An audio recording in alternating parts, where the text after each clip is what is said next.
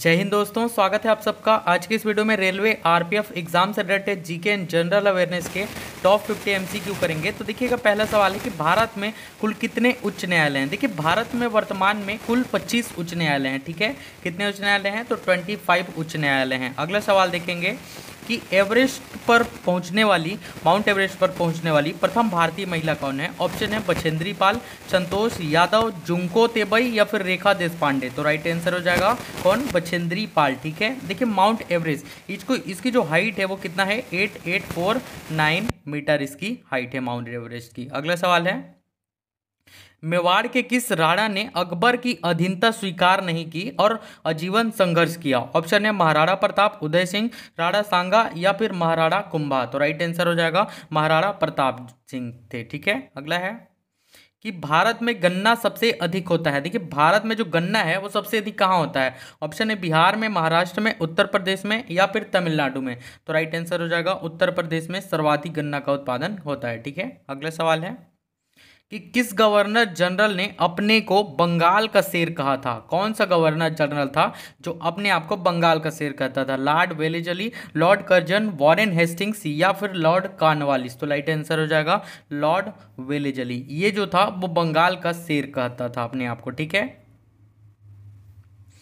भारत में कृषि का प्राचीनतम साक्ष्य कहाँ से मिला है? ऑप्शन ए हड़प्पा से, मेहरगढ़ से सराय नहर से, या फिर बुर्ज होम से? तो राइट आंसर हो जाएगा, मेहरगढ़ से। ऑप्शन नंबर बी अगला है जवाहरलाल नेहरू प्रथम बार अखिल भारतीय कांग्रेस के अध्यक्ष कब बने थे? ऑप्शन ए 1929 में 1927 में 1921 में, या फिर 1932 में? तो राइट आंसर हो जाएगा, उन्नीस में बने थे जवाहरलाल नेहरू प्रथम बार अखिल भारतीय कांग्रेस के अध्यक्ष। ठीक है? अगला सवाल है कि किसने अठारह सौ तिहत्तर में सत्य शोधन समाज की स्थापना की? ऑप्शन है गोपाल कृष्ण गोखले, ज्योतिबा फुले, शिवनाथ शास्त्री, या फिर उपरोक्त में से कोई नहीं। तो राइट आंसर हो जाएगा ज्योतिबा फुले, ठीक है? अठारह सौ तिहत्तर में सत्य शोधन समाज की इन्होंने स्थापना की थी। अगला है, इंडियन नेशनल कांग्रेस की प्रथम महिला अध्यक्ष कौन थी? ऑप्शन है, नेली सेन गुप्ता या फिर सरोजनी नायडू, श्रीमती एनी बिसेंट राजकुमारी अमृत कौर। कौन थी? तो देखिए, इस सवाल का जो राइट आंसर होगा,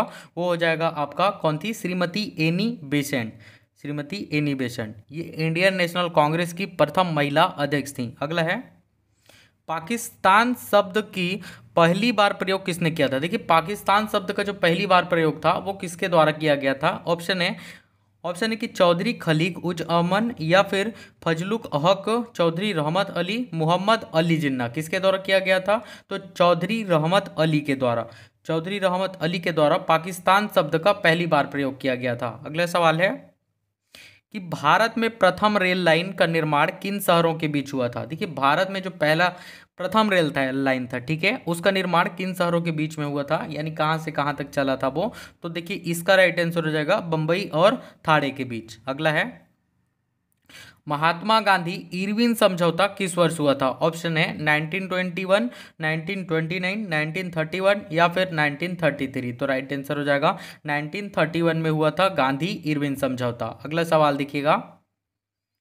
भक्ति आंदोलन की शुरुआत भारत के किस क्षेत्र से हुई? ऑप्शन है उत्तर भारत से दक्षिण भारत से पूर्वी भारत से या फिर पश्चिमी भारत से। कहाँ से शुरुआत हुई? तो दक्षिण भारत से शुरुआत हुई थी आपका भक्ति आंदोलन का। अगला सवाल है कि दिल्ली सल्तनत में सबसे लंबी अवधि तक किस वंश का शासन था? ऑप्शन है, खिलजी वंश का, तुगलक वंश का, सैयद वंश का, या फिर गौरी वंश का। कौन से वंश का शासक था सर्वाधिक समय तक? तो तुगलक वंश का शासक था। अगला सवाल है भू राजस्व की दर किसके शासनकाल में सर्वाधिक थी? ऑप्शन है, अलाउद्दीन खिलजी, मोहम्मद तुगलक, इब्राहिम लोदी, या फिर फिरोज तुगलक। तो राइट आंसर हो जाएगा, अलाउद्दीन खिलजी के शासनकाल में भू राजस्व की जो दर थी, वो सर्वाधिक थी। ठीक है? अगला सवाल देखिएगा।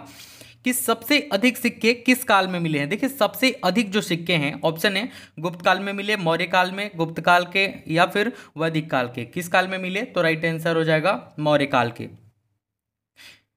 सबसे अधिक सिक्के किस काल के मिले हैं? तो मौर्य काल के। अगला है अशोक के अभिलेख में उसके किस एकमात्र पुत्र की चर्चा की गई है? ऑप्शन है महेंद्र, तीवर, जालोक या फिर कुड़ाल। किसकी चर्चा की गई है? तो तीवर की चर्चा की गई है, ठीक है?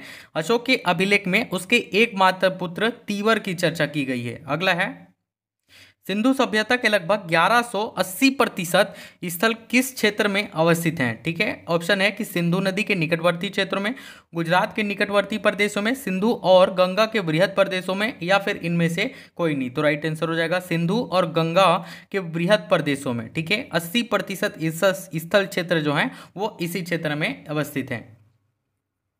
अगला सवाल है कि रामकृष्ण मिशन के संस्थापक कौन है? ऑप्शन है स्वामी विवेकानंद, रविंद्रनाथ टैगोर, दयानंद सरस्वती या फिर कबीरदास तो राइट आंसर हो जाएगा स्वामी विवेकानंद जी जो है, वो रामकृष्ण मिशन के संस्थापक हैं, ठीक है? अगला सवाल है भारत में सती प्रथा को कब प्रतिबंधित किया गया? ऑप्शन है अठारह में अठारह में अठारह में या फिर 1835 में? तो राइट आंसर हो जाएगा अठारह में भारत में सती प्रथा को प्रतिबंधित किया गया। ठीक है? नेक्स्ट है। भक्ति आंदोलन का आदि पुरुष किसे कहा जाता है? देखिए, भक्ति आंदोलन का आदि पुरुष पूछा है। ऑप्शन है रामानंद को, शंकराचार्य को, चैतन्य महाप्रभु को या फिर रामानुज को। किसको कहा जाता है? तो राइट आंसर हो जाएगा शंकराचार्य को। ऑप्शन नंबर बी भक्ति आंदोलन का जो आदि पुरुष है, वो शंकराचार्य को कहा जाता है। अगला है, अखंड भारत का संपादन किसके द्वारा किया गया? देखिए, अखंड भारत का जो संपादन था ऑप्शन है ऑप्शन ए आनंदमल सुराड़ा भंवरलाल सराफ या फिर जय नारायण व्यास, या फिर मथुरा दास माथुर। तो राइट आंसर हो जाएगा जय नारायण व्यास। अखंड भारत का संपादन किसके द्वारा किया गया? तो जय नारायण व्यास के द्वारा। अगला सवाल है, भारत में प्रथम सहायक संधि किस रियासत ने की थी? हैदराबाद, लखनऊ, चेन्नई, या फिर कोलकाता? तो राइट आंसर हो जाएगा इसका, किसने किया था? भारत में प्रथम जो सहायक संधि था, ठीक है, ये हैदराबाद। ऑप्शन नंबर ए किस रियासत ने की थी? तो हैदराबाद। अगला है, देश की प्रथम महिला लोकसभा अध्यक्ष का क्या नाम है? ऑप्शन है, सोनिया गांधी, मीरा कुमारी, सुषमा स्वराज या फिर नजमा हेपतुल्ला तो राइट आंसर हो जाएगा, मीरा कुमारी। ये देश की प्रथम महिला लोकसभा अध्यक्ष थी, ठीक है? नेक्स्ट अगला सवाल देखेंगे हम लोग। कि सारे जहाँ से अच्छा हिंदुस्तान हमारा के लेखक कौन है? ऑप्शन है, मोहम्मद इकबाल, भगत सिंह, सर सैयद अहमद खां या फिर अबुल कलाम आज़ाद। तो राइट आंसर हो जाएगा, मोहम्मद इकबाल जो है, जो हैं, ये सारे जहाँ से अच्छा हिंदुस्तान हमारा के लेखक हैं। वीडियो में आगे बढ़ने से पहले, यदि आपको रेलवे आरपीएफ एग्ज़ाम के लिए सबसे बेस्ट बुक चाहिए तो मैं आपको रेफर करूँगा चक्षु पब्लिकेशन का सामान्य अध्ययन का बुक, जिसमें आपको चैप्टर वाइज सॉल्वेट पेपर मिलते हैं। इसके अलावा 6900 से भी ज़्यादा इसमें आपको एमसीक्यू मिलेंगे। इसके साथ ही चक्षु का रेलवे आरपीएफ का गाइड और प्रैक्टिस सेट भी आता है। साथ ही चैप्टर वाइज मैथ्स और रीजनिंग भी आती है, जिसे लेकर आप अपनी तैयारी को और मज़बूत कर सकते हैं। इस बुक का लिंक आपको वीडियो के डिस्क्रिप्शन पर मिल जाएगा। आप वहाँ से बाई कर सकते हैं। हैं। अब आगे। अगला सवाल है, बुद्ध ने अपना प्रथम उपदेश कहाँ किया? देखिए, गौतम बुद्ध जो थे, उन्होंने अपना प्रथम उपदेश कहाँ दिया था? ऑप्शन है, उरुवेला में, सारनाथ में, कुशीनगर में या फिर बोधगया में। कहाँ दिए थे? तो सारनाथ में महात्मा बुद्ध ने अपने प्रथम उपदेश दिया था, ठीक है? जैन व बौद्ध धर्मों में ऐसा कौन सा सिद्धांत है जिस पर दोनों धर्मों में असहमति है? ऑप्शन है कठोर तपस्या, नैतिकता पर बल, शुद्ध आचरण पर बल, या फिर जाति भेद का खंडन। तो राइट आंसर हो जाएगा कठोर तपस्या, ठीक है? कठोर तपस्या। अगला है। कि पंचायती राज की सबसे बड़ी संस्था कौन सी है? ऑप्शन है, जिला परिषद, ग्राम पंचायत, ग्राम सभा या फिर पंचायत समिति। तो राइट आंसर हो जाएगा, जिला परिषद जो होता है, ये पंचायती राज की सबसे बड़ी संस्था होती है, ठीक है? नेक्स्ट है। पहिए का आविष्कार किस काल में हुआ? ऑप्शन है नौ पाषाण काल, मध्य पाषाण काल, पूरा पाषाण काल या फिर ऋग्वेद काल। किस काल में हुआ था? तो देखिए पहिए का जो आविष्कार था, ठीक है, ये नौ पाषाण काल में हुआ था। अगला सवाल देखिएगा कि हड़प्पा सभ्यता के उत्खननकर्ता कौन है? ऑप्शन है Dayaram Sahni, B B Lal, N G Majumdar या फिर राखन बनर्जी। तो लाइट आंसर हो जाएगा आपका Dayaram Sahni. Option number A, Harappa सभ्यता के उत्खननकर्ता कौन है? तो दयाराम साहनी। नेक्स्ट है सिंधु घाटी सभ्यता के लोग किससे अपरिचित थे? ऑप्शन है, तांबे से, लोहे से, आग से, या फिर कृषि से। किससे अपरिचित थे? तो लोहे से अपरिचित थे सिंधु घाटी सभ्यता के लोग, ठीक है? नेक्स्ट है, सारनाथ स्तंभ का निर्माण किसने करवाया? ऑप्शन है, अशोक ने, अकबर ने, बिंबिसार ने, या फिर कलिंग ने? तो राइट आंसर हो जाएगा, अशोक ने करवाया था सारनाथ स्तंभ का निर्माण। अगला है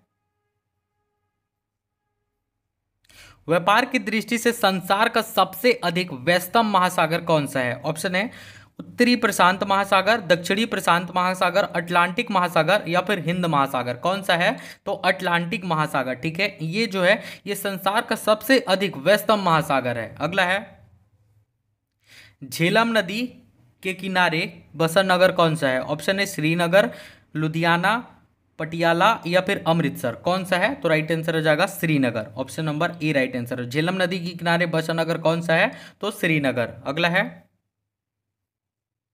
विश्व में सर्वाधिक रबड़ का उत्पादन कहाँ होता है? ऑप्शन है कि मलेशिया में, केन्या में, श्रीलंका में या फिर ब्राज़ील में। तो राइट आंसर है, मलेशिया में सर्वाधिक उत्पादन होता है रबड़ का। अगला है विश्व प्रसिद्ध पिरामिड कहाँ स्थित है? ऑप्शन है मिस्र में, म्यांमार में, इंडोनेशिया में या फिर थाईलैंड में। तो राइट आंसर हो जाएगा मिस्र में। विश्व प्रसिद्ध पिरामिड कहाँ स्थित है? तो मिस्र में स्थित है। अगला है, सबरी गिरी परियोजना का संबंध किस राज्य से है? ऑप्शन है कि केरल से, उड़ीसा से, कर्नाटक से या फिर बिहार से। तो राइट आंसर हो जाएगा केरल से, ठीक है? सबरी गिरी परियोजना का संबंध केरल से है। नेक्स्ट है भारत का सागर तटीय लंबाई कितनी है? ऑप्शन है पंद्रह हज़ार दो सौ किलोमीटर, सात हज़ार पाँच सौ सोलह किलोमीटर छः हज़ार दो सौ किलोमीटर या फिर आठ हज़ार किलोमीटर। तो राइट आंसर हो जाएगा सात हज़ार पाँच सौ सोलह किलोमीटर। सागर तटीय लंबाई कितनी है भारत की? तो सात हज़ार पाँच सौ सोलह किलोमीटर। अगला सवाल देखिएगा। चीन व अरुणाचल प्रदेश की सीमा पर स्थित दर्रा कौन सा है? ऑप्शन है योग्याप, दीपाक चौकान या फिर तंगूप। तो राइट आंसर हो जाएगा योग्याप ठीक है? ये जो है वो चीन व अरुणाचल प्रदेश की सीमा पर स्थित दर्रा है। नेक्स्ट है। भारत में परमाणु ऊर्जा के जनक कौन है? ऑप्शन है डॉक्टर राजा रमन्ना डॉक्टर होमी जहांगीर भाभा इसका राइट आंसर तो यही हो जाएगा, सबको पता होगा। भारत में परमाणु ऊर्जा के जनक कौन है? तो डॉक्टर होमी जहांगीर भाभा ठीक है? नेक्स्ट है। डायनामाइट के आविष्कारक कौन है? ऑप्शन है अल्फ्रेड नोबेल न्यूटन प्रिस्टले या फिर रैगजे तो राइट आंसर हो जाएगा अल्फ्रेड नोबेल ये जो है, ये डायनामाइट के आविष्कारक हैं, ठीक है? किस उच्च न्यायालय के मुख्य न्यायाधीश की नियुक्ति कौन करता है? किसी उच्च न्यायालय, किसी हाई कोर्ट की मुख्य न्यायाधीश की जो नियुक्ति होती है, वो कौन करते हैं? ऑप्शन है, राष्ट्रपति, प्रधानमंत्री, उच्चतम न्यायालय के प्रधान न्यायाधीश या फिर उक्त राज्य का मुख्यमंत्री। तो राइट आंसर हो जाएगा इसका राष्ट्रपति। ठीक है, किसी भी राज्य के उच्च न्यायालय के जो मुख्य न्यायाधीश होते हैं, उसकी नियुक्ति राष्ट्रपति करते हैं। फेडरेशन कप 2024 में नीरज चोपड़ा ने स्वर्ण पदक जीता, इसका आयोजन कहाँ किया गया? ऑप्शन है कि गुवाहाटी में, शिमला में, पटना में या फिर भुवनेश्वर में। तो राइट आंसर हो जाएगा ऑप्शन नंबर डी इसका आयोजन जो है वो भुवनेश्वर में किया गया था, ठीक है? और नीरज चोपड़ा ने इसमें कितना भाला फेंका? तो कितना kilometre? Eighty two point two seven metre. कितना लंबा भाला फेंका? Eighty two point two seven metre, ठीक है? भाला फेंकते हुए स्वर्ण पदक अपने नाम किया। अगला सवाल देखिएगा। वन कान फ़िल्म महोत्सव 2024 में भारतीय पवेलियन का उद्घाटन किया गया। इसका आयोजन कहाँ किया जा रहा है? ऑप्शन है फ्रांस में, कनाडा में, जर्मनी में या फिर ऑस्ट्रेलिया में। कहाँ किया जा रहा है इसका आयोजन? तो फ्रांस में किया जा रहा है इसका आयोजन, ठीक है? ये कौन से नंबर का है? तो सेवेंटी सेवेंथ। अगला है, भारत के किस मशहूर फुटबॉलर ने अंतर्राष्ट्रीय फुटबॉल में से संन्यास लेने की घोषणा की है? ऑप्शन है सुनील छेत्री, सहल अब्दुल समद लालिंग माविया रालते या फिर मनवीर सिंह? तो राइट आंसर हो जाएगा इसका सुनील छेत्री ने, ठीक है? बहुत ही ज़्यादा इंपॉर्टेंट क्वेश्चन है आपके लिए मोस्ट मोस्ट इंपॉर्टेंट क्वेश्चन है। एग्ज़ाम में पूछा जाएगा इससे रिलेटेड ठीक है? अगला सवाल है, फ़ोन पे ने हाल ही में किस देश में यूपीआई सेवाओं की शुरुआत की है? ऑप्शन है, नेपाल, बांग्लादेश, श्रीलंका या फिर थाईलैंड। कहाँ शुरुआत किया है? तो श्रीलंका में शुरुआत किया है, ठीक है? अगला सवाल है भारतीय वायुसेना ने कहाँ पर एयर ड्रॉप स्वदेशी मोबाइल हॉस्पिटल भीष्म क्यूबा का परीक्षण किया? ऑप्शन है नई दिल्ली, आगरा, जयपुर या फिर पटना। तो राइट आंसर हो जाएगा आगरा में किया, ठीक है? ऑप्शन नंबर बी अगला सवाल देखिएगा कि हाल ही में भारत के एटी फिफ्थ ग्रैंड मास्टर कौन बने हैं? ऑप्शन है विदिता गुजराती, गुकेश डी, वैशाली, रमेश बाबू या फिर पी श्याम निखिल। तो राइट आंसर हो जाएगा पी श्याम निखिल। अगला है किसने अपने अपने पहले चीफ एआई ऑफिसर के रूप में, किसने अपने अपने पहले चीफ एआई ऑफिसर के रूप में डेविड सल्वा जिनिनी को नियुक्त किया है? ऑप्शन है टेस्ला ने, यूएन ने, नासा ने या फिर गूगल ने। तो राइट आंसर हो जाएगा किसने नियुक्त किया गया है? तो नासा ने नियुक्त किया है। Option number C. I hope आपको वीडियो पसंद आया होगा तो प्लीज़ वीडियो को लाइक करें और चैनल पर नए हैं तो सब्सक्राइब करें। Thank you.